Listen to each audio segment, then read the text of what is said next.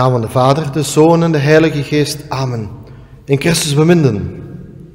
Indien u de brief van de heilige Paulus aan de Galaten leest, dan voert deze automatisch tot een overweging van de deugd van de nederigheid en de deugd van de zachtmoedigheid. Sint Paulus moet zich namelijk in de brief aan de Galaten tegenover zijn joods-christelijke tegenstanders binnen de katholieke kerk verdedigen. Deze judaïsten wensten het oude verbond met al zijn wetten en zijn oude liturgische voorschriften in de kerk, in het Nieuwe Testament, te behouden. Het apostelconcilie had echter anders beslist. Maar dit weerhield deze judaïsten niet, de grote apostel van de heidenen, Sint Paulus, aan te vallen. Paulus echter prijst Gods genade in een geest van nederigheid, in een geest van zachtmoedigheid. Vorige keer spraken wij reeds over de nederigheid. Vandaag willen wij spreken met Sint Alfonsus over de zachtmoedigheid. Ten eerste over de waardigheid van de zachtmoedigheid, ten tweede over de beoefening en ten derde over de vermijding van het tegenovergestelde, het laster van de toorn. Werpen wij allereerst een blik op de waardigheid van de zachtmoedigheid en stellen wij ons de vraag, levert de zachtmoedigheid mij eigenlijk iets op? Zachtmoedigheid en nederigheid, mijn dierbaren, waren de lievelingsdeugden van Jezus Christus. Althans, Jezus identificeert zich met deze deugden. Hij zegt, leert van mij, want ik ben zachtmoedig en nederig van harte. En onze heiland werd het lam Gods genoemd, niet alleen van het offer dat hij tot uitboeting van onze zonden aan het kruisoffer zou opdragen, maar ook omwille van zijn zachtmoedigheid, welke hij gedurende heel zijn leven en vooral gedurende zijn bitter lijden toonde.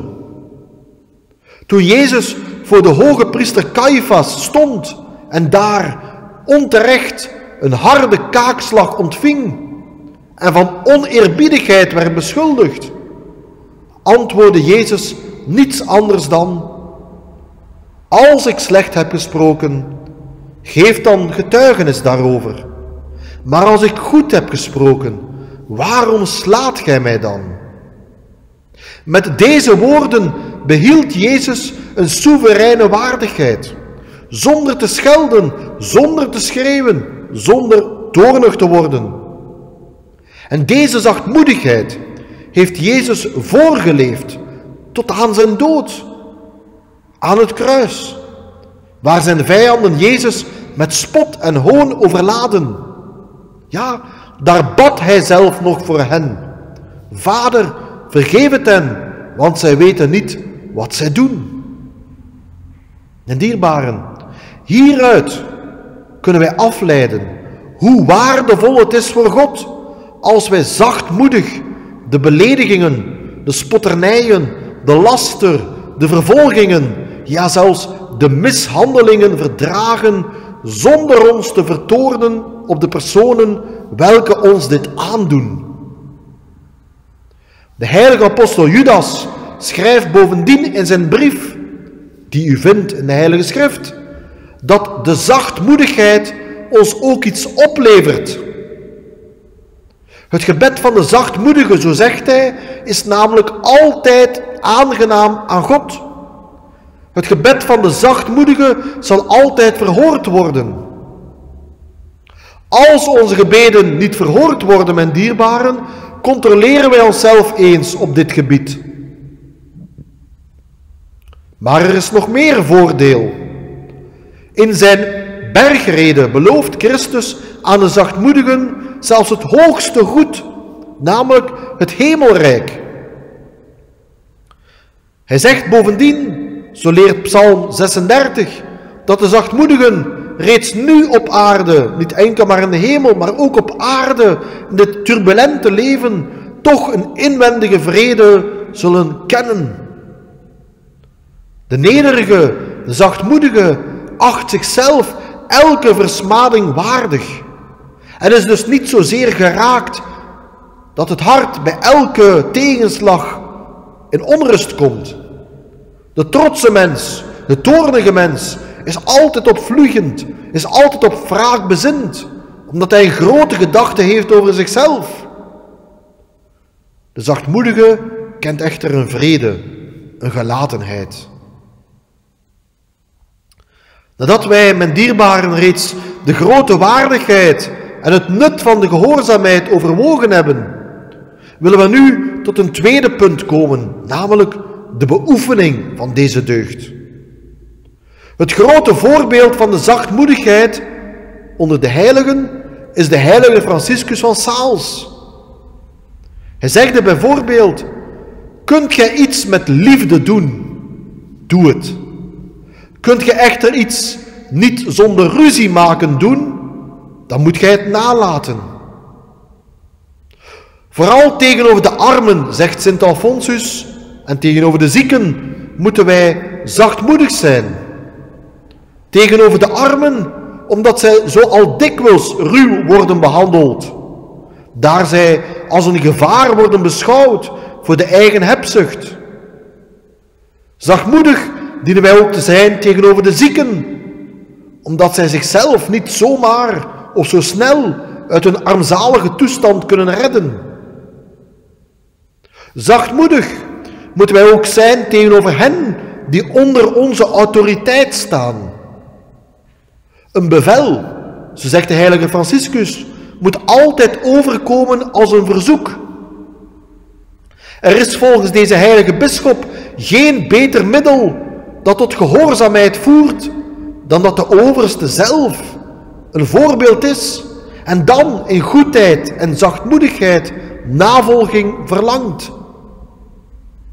Zachtmoedigheid moeten wij ook beoefenen, heel bijzonder tegenover onze vijanden. Vijandsliefde, mijn dierbaren, moet voor ons typerend zijn. Overwinnen wij het kwade door het goede, zegt Sint Paulus.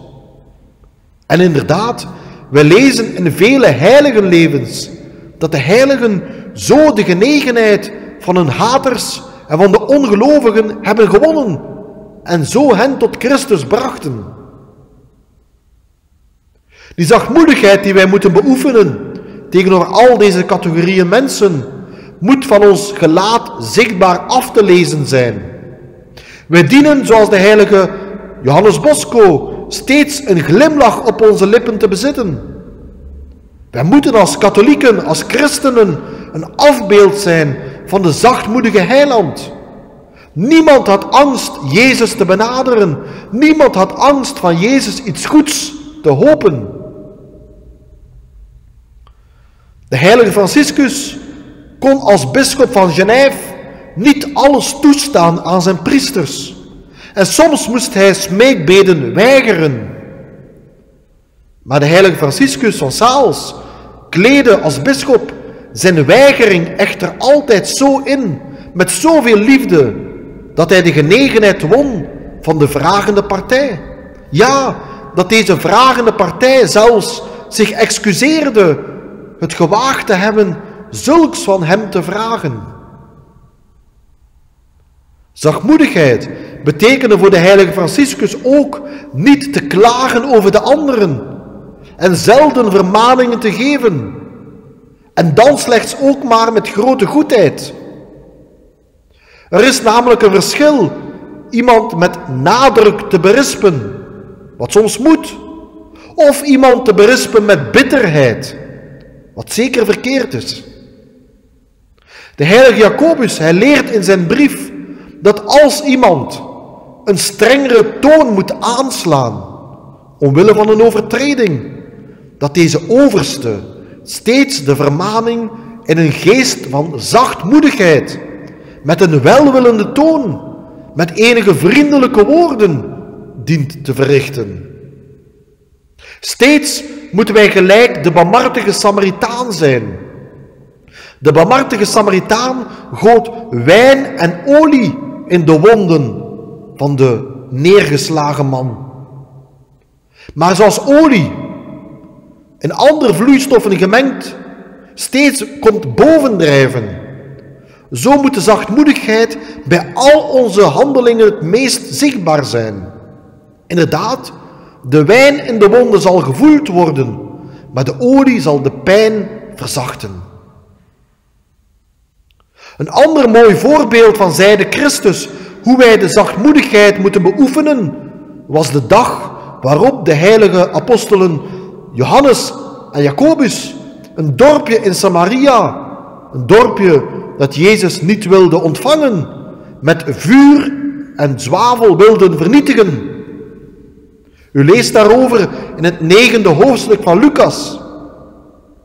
Onze heiland echter riep deze twee apostelen, deze twee donderzonen, zoals Jezus Jacobus en Johannes noemde, tot de orde. Hij riep hen tot, met, tot de orde met volgende woorden. Gij weet niet welke geest gij zijt als gij zo handelt in toorn. Het is niet mijn geest. Mijn geest is barmhartigheid, goedheid. De mensenzoon is niet gekomen om de zielen te verderven, maar om ze te redden. En gij, Johannes, Jacobus, gij vraagt ze aan mij in het verderf te storten. Inderdaad, mijn dierbaren, ook wij denken soms tegen onze tegenstrevers hard te moeten optreden. Maar dit is niet katholiek, dit is niet de geest van Christus. Ook het gebeuren met de Samaritaanse vrouw aan de put van Jacob is een goed voorbeeld van zachtmoedigheid van onze heiland, een voorbeeld voor ons. Deze vrouw trachtte Jezus in een bepaalde zin om de tuin te leiden, Jezus te bedriegen, wat natuurlijk moeilijk is bij de alwetende God. En hoe zien wij Jezus op haar inspelen? We zien in Jezus zijn antwoord geen hardheid. Hij gebruikt zelfs een bepaalde humor. En zo voert hij ze tot zelfkennis, tot berouw en uiteindelijk tot bekering. Hij confronteerde haar niet op harde wijze, maar hij ging zacht te werk, ondanks dat zij hem niet eerlijk behandelde. En welke tederheid ook van Jezus tegenover Judas. Christus gebruikte er dezelfde woorden als hij andere mensen aansprak. Vriend. Hij had kort voordien Judas nog uit dezelfde schotel laten eten, zijn voeten gewassen, hem discrete waarschuwingen gegeven. Niet direct hard en publiek. En ook op het moment dat Judas zijn verraad verricht, spreekt Jezus nog de meest ontroerende woorden. Judas, vriend, verraad gij mij met een kus? Hij tracht Judas redelijkerwijze tot nadenken te stemmen, niet publiekelijk voor de honden te gooien. En hoe won Jezus de logende Petrus terug? Door verwijten te maken na zijn verrijzenis. Nee, op het moment zelf draaide Jezus zich zacht in de richting van Petrus en keek de paus zacht teder aan. En Petrus bekeerde zich. En na de verrijzenis riep Jezus Petrus niet publiekelijk ter orde, maar hij verscheen privaat aan Petrus. Dat zijn allemaal voorbeelden, mijn dierbaren, hoe wij de zachtmoedigheid dienen te beoefenen. En zo komen wij ook tot ons derde punt. Hoe vermijden wij het tegenovergestelde, de toorn? U weet het, de duivel vist graag in troebel water. Dat betekent, hij houdt van onrust stoken. En de toorn die ontstaat tussen mensen, door hun woorden, door hun daden, door hun gedachten.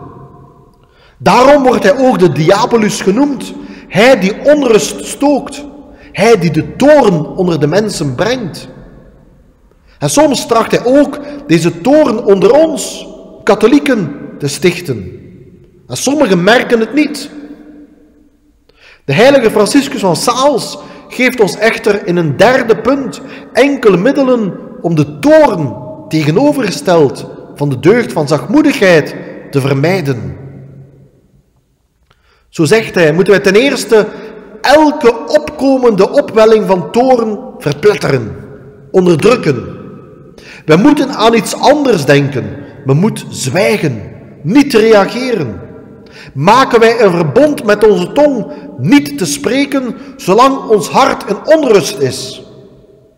Straffen wij ook niet, bijvoorbeeld als ouders onze kinderen, daar toorn het gezonde oordeelsvermogen troebel maakt? Als wij voelen ten tweede dat wij toch in toren geraken, vluchten wij naar God die in ons woont. God die onrust tot bedaren kan brengen. Net zoals hij deed met de apostelen op de storm van het meer van Galilea.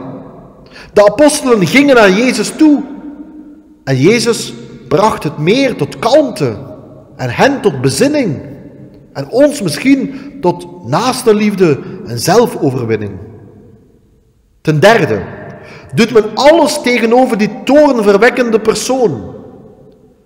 Alles om deze zachtmoedigheid te bewijzen. Men spreekt vriendelijke woorden. Men probeert hem tot bedaren te brengen. Men probeert zelf niet met gejaagdheid te handelen. Vuur kan men niet blussen met vuur. Men geeft dus niet toe zelf aan een opschaling van de stem. Men gaat toch niet over naar grote gesten. En ten vijfde, als men werkelijk niet kan blijven in één en dezelfde ruimte, moet men zich toevlucht nemen naar een andere ruimte en daar een goed boek ter hand nemen of een andere bezigheid verrichten. Men mag niet bij deze situatie blijven. Men tracht door de situatie te verlaten de goede stemming in het hart terug te krijgen, de gedachten even te verzetten. En men tracht daarbij innerlijk tot aanvaarding van Gods wil of Gods toelating te komen. En nadat men deze, deze gelatenheid bereikt heeft, dan kan men weer naar deze persoon of deze situatie die ons aanvankelijk tot toren verwekte, terugkeren. In Christus beminnen, tenslotte, de hoofddeugd van het katholicisme is de liefde. De liefde tot God. Liefde tot God wordt echter bewezen in de liefde tot onze naaste. Het zichtbare, tastbare beeld van God. Het kind van God. En deze naaste liefde bestaat er vooral in hoe wij met deze personen omgaan. Zachtmoedig of hardvochtig. Het trachten wij zeker nu in deze vastentijd ons hierop toe te leggen. Naaste liefde is de kern van ons geloof. Zonder de liefde zijn wij niets, zegt Paulus. Overdenken wij dus wat wij vandaag gehoord hebben over de zachtmoedigheid, de waarde van de zachtmoedigheid, de voordelen van de zachtmoedigheid en hoe wij de zachtmoedigheid moeten beoefenen tegenover verschillende personen. Maken wij concrete voornemens en vragen wij ons lieve vrouw alle genaden die, die, die nodig zijn ter uitvoering van deze mooie deugd van de zachtmoedigheid die wij nodig hebben voor een bereiking van de heiligheid. Amen. In naam van de Vader, de Zoon, de Heilige Geest. Amen.